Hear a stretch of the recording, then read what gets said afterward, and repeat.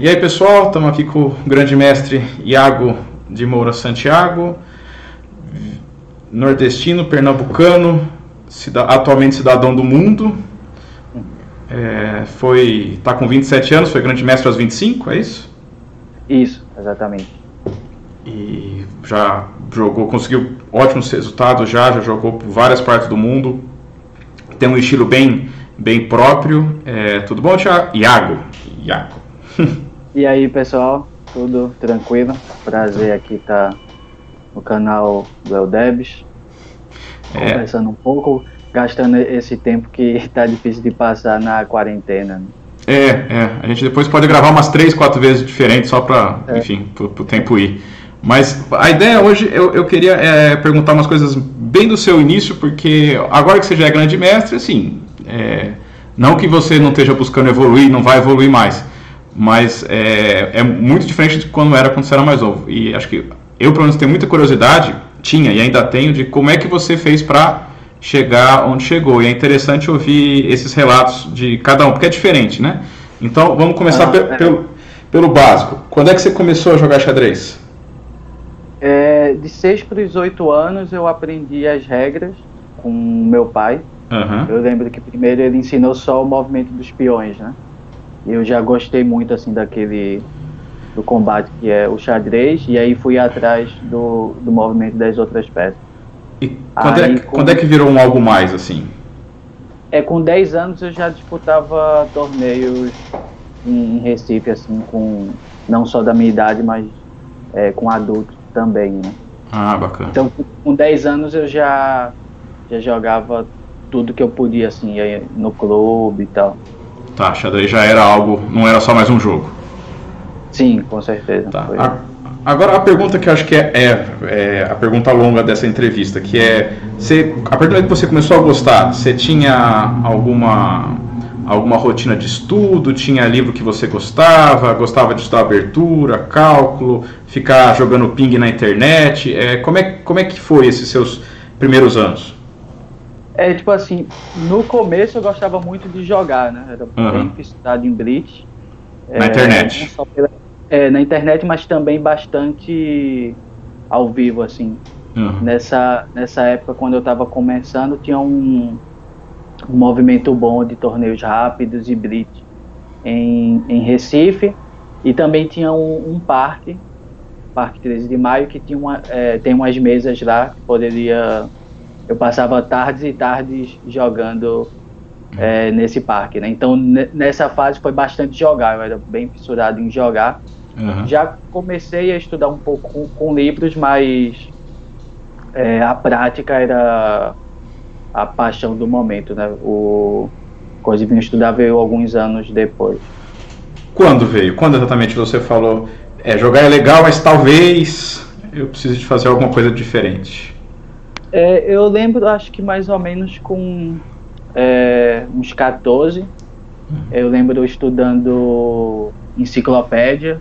Que De abertura? Era, isso, exatamente. Hum. Enciclopédia informador, ainda peguei é, essa época, né? Uhum. E aí eu lembro de uma rotina que eu tinha, tipo, nas minhas férias da escola, né? Isso eu acho que eu tinha uns 14, 14 anos mais ou menos. Porque, assim, começava o dia, eu acordava três da tarde, três horas já estava bem é, flexível. É, ficava sem fazer meio que nada até as oito da noite.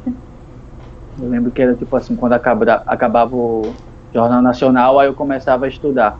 Aí eu uhum. passava a madrugada, ia por um quarto assim, passava a madrugada tocando música, estudando xadrez, vendo linha ou no informador ou ou na enciclopédia, ou algum outro livro que eu, que eu tivesse no momento. Aí eu ia até de manhã, com algumas várias pausas, uhum. dava umas voltas no parque ao lado da minha casa, voltava para dormir. No meio da madrugada? Isso. Não, isso no ah, final. Ah, já de manhã. Isso, exatamente. Tava começando o dia ali com o pessoal super saudável que tava começando o dia, eu tava encerrando, né? Aí eu voltava e no dia seguinte começava tudo de novo. Isso eu, eu lembro bem, bem claro, assim, é, nas minhas férias, como eu disse, né? mais ou menos com uns 14 anos. E o, a questão de, de abertura e cálculo, que o pessoal sempre fica perguntando, o que, que disso daí foi fundamental assim é, para você assim nessas, nesses anos de formação?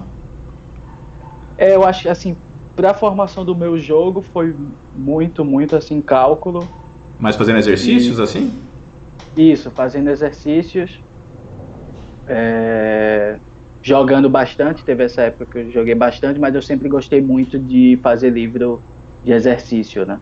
Algum especial, assim? É, tudo do Dvoretic, assim, eu gostava. Ah, você já teve... começou pesado.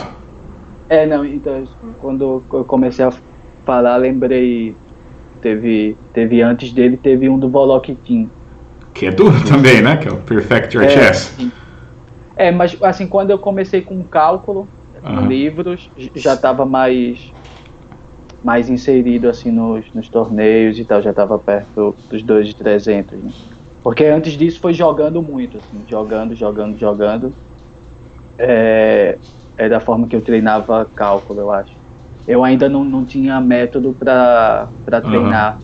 minha cabeça, né? Eu só jogava bastante. Ah, legal. E você, morando no, no, no, Nordeste, tinha. Eu sei que tem, tinha, acho que o Nordestão, que todo ano sempre era legal, mas em, ah. em algum momento você teve que sair para. É, como é que era a facilidade para poder jogar os torneios? Como é que você escolhia eles?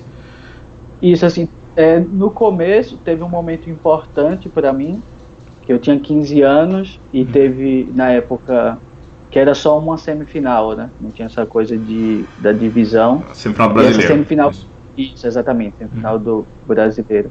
E essa semifinal foi em Recife, uhum. que eu acabei me classificando para a final, na época eram sete vagas, se não me engano. Acho que o Cricor ganhou, o Diamante foi vice, alguma coisa assim. Porto Alegre, sim? E... No Rio Grande do Sul? Não, é, é, não, não, é que foi em Recife. Não, mas a, a, a, Ah, tá, não, você não tá falando da ah, final a, já. A, a, final foi do Rio. 2007. Ah. Então foi um momento bem, bem importante para mim que eu consegui jogar assim, um torneio bem forte a nível nacional e com um resultado bom acabei me, me motivando mais, né? E assim, nessa época tinha alguns torneios no Nordeste, que eu costumava jogar praticamente todos, uhum. mas aí depois desse momento, que foi mais ou menos quando eu cheguei a 2,300 e ainda era claro para mim que eu ia fazer isso da vida. Aí eu tive que começar a viajar mais. Com mais. quantos anos se tornou claro isso? É, quando eu classifiquei para a final, quando eu tinha 15 anos, para mim já ficou. Claro, isso, ah, claro. É legal. É engraçado porque me perguntam às vezes, tanto gente do xadrez como de fora, é, como que foi a decisão, porque muita gente não tem, tem como uma hum. decisão difícil uhum. escolher esse caminho e tal. Só que eu falo assim que para mim foi bem fácil, assim, porque gostava muito, gostava do estilo de vida. Muito mais difícil é conviver com, com as consequências da decisão, né? Mas a decisão eu tomei bem. Não, não, tirou noite de sono nem nada. Ah, bacana. E outra coisa assim, você. É, eu lembro que você jogou torneio de categoria sub-20, é, acho que você jogou alguns também mais novos, mas é, o, o seu, você acha que os seus rivais de categoria era algo que você buscava é, era que você queria ganhar deles, você, você se esforçava para estar melhor que eles, ou para você o negócio era xadrez e é, esse negócio de categoria, rival, não era algo que te motivava tanto? É, eu comecei a pensar, eu, assim, em categoria bem no começo, assim, quando eu era bem novo, uhum. mas depois que eu comecei a melhorar, é, eu acabei não jogando, eu só joguei um sub-20 brasileiro, né? Uhum. Eu, eu nunca tinha jogado, muito por causa da, da coisa geográfica mesmo, isso. Mas assim, eu nunca tive muita motivação. Quando eu comecei a achar algo interessante. Acabou! Exatamente, foi quando eu tinha uns 20 anos, ah, até que pode ser legal, mas assim, a princípio a minha motivação era sempre jogar com um adversário melhor possível, assim. Né? Ah, legal.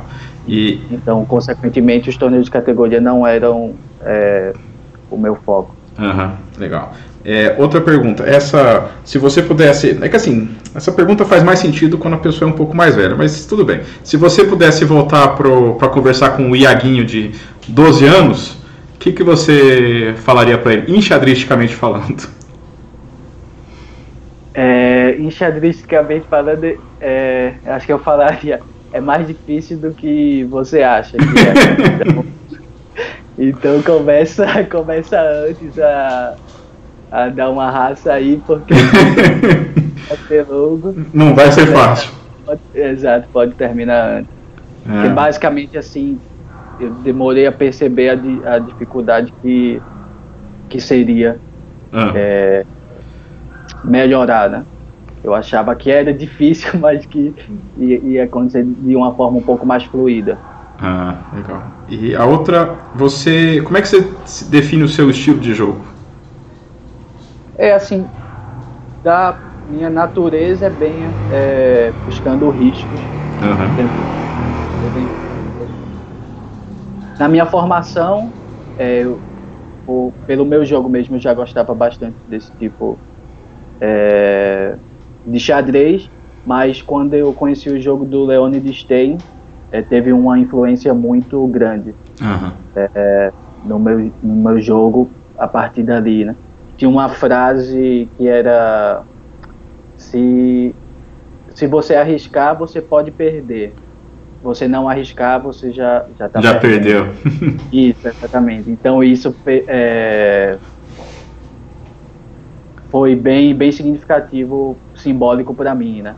Mas eu acredito que hoje em dia eu já mudei, mudei bastante é, se comparar com os dois anos atrás. O, o meu estilo de jogo, bastante porque eu, eu, é um, uma coisa que eu estou tentando, né? Ampliar meu estilo, que sempre foi assim, é, jogar por ataque e, e riscos, né? Estou tentando ampliar um pouco. Mas esse estilo seu é, mais novo, você acha que se você não tivesse lido Einstein e no, no lugar alguém tivesse dado um livro de, um livro de presente do Capablanca ou do Karpov, você acha que no fim das contas você ainda ia jogar que nem você jogava ou ia te moldar de um jeito diferente? Assim, é da sua personalidade ou foi da sua formação mesmo? Eu, eu acho que é um, um pouco dos dois, né? Porque eu lembro assim que eu tentava ler outro tipo assim de xadrez, né? Uhum. É, referência. Mas, sei lá, eu cheguei a olhar Karpov na época, Petrosian, mas como era meio sozinho, então a minha parte instintiva falava mais alto, eu acabava vendo e entendendo mais uhum. é, jogadores que fazia mais, mais fazia mais sentido para você. Exatamente. Além de fazer mais sentido, era como que eu via mais beleza, né? Uhum. Naquela época eu e assim as partidas, não sei, Karpov Petrosian reconheciam um nível é, muito alto, mas não achava esteticamente bonito, assim. Que é uma coisa bem diferente quando eu vejo hoje, né? Uhum. Mas, res respondendo assim a pergunta, eu acho que mesmo que eu tivesse visto mais de outros jogadores, pelo menos nessa primeira fase, o meu estilo ia ser bem como foi mesmo. Ah, legal. E para terminar, é, a pergunta que eu estou fazendo para todo mundo é qual que foi o seu melhor lance até hoje? Eu imagino até que vai vir algum melhor mais para frente, mas e não precisa ser o melhor lance, é, aquele lance brilhante. Pode ser o lance que te, sei lá, é, o que for, te, te, dá boas memórias daquele lance. Eu, eu tava, é, por coincidência, faz uns dois dias eu estava lembrando de de um lance. É, pode ser assim que em algumas semanas meu lance preferido seja outro. Claro. Mas nessa semana foi um, foi um torneio que eu joguei em Salvador, uma aberto do Brasil.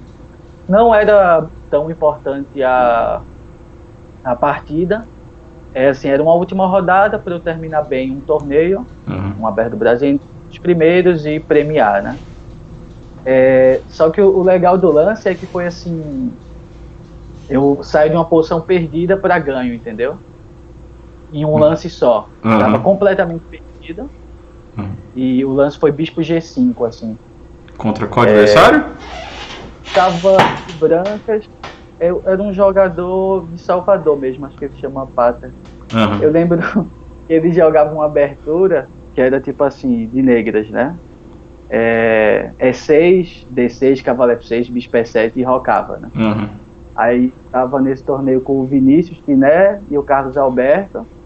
E a gente brincando, né? Pô, jogar isso, o cara pega o centro, já era, né? Uhum. E ele já tinha jogado jogar, acho que ou contra o Carlos ou com o Vinícius, e tinha empatado por cima. E não, não tinha sido fácil. Aí aconteceu de jogar a última com ele de brancas e eu acabei ficando perdido da mesma forma. Mas eu lembro esse Bispo G5 eu fiquei muito feliz na hora. Porque era tipo assim. É, eu tô de brancas, né? Roquei pequeno. E ele jogou uma dama em G6 e tá ameaçando um mate em G2 de alguma forma, sabe? Uhum. Tá caindo peça minha e tal. Aí meu bispo que tá na coluna E vai para G5, tipo no A, evita o mate e eu tô dando um mate assim de. Você corredor dele. ganha, dá um desviozinho. Ah. Eu lembro que assim, o momento que eu tava do, foi do abandono, ele, ele inclusive abandonou, né? Eu joguei bicho que ele abandonou. Foi do meu abandono para o dele. Eu acho que nunca aconteceu assim comigo. É, obviamente tem lances que foram mais difíceis, melhores, mais importantes. Mas assim, essa coisa de virar tão forte em apenas um lance, né? Ah, pro. Vou... Essa foi a lembrança que eu tive. Legal, eu vou, eu vou analisar então esse lance pro canal, tentar tentar explicar. Supor que tenha na base, né? Bar do Brasil. Sim, sim. É, não tendo, eu posso te mandar também, mas eu acho que tem. Ah, legal. Bom, é isso. Muito obrigado pela, pela entrevista, Iago. E é, mantenha a sessão aí em Barcelona, é isso? Isso, exatamente. Valeu, Felipe. Até. É prazer, prazer é nosso. Até mais.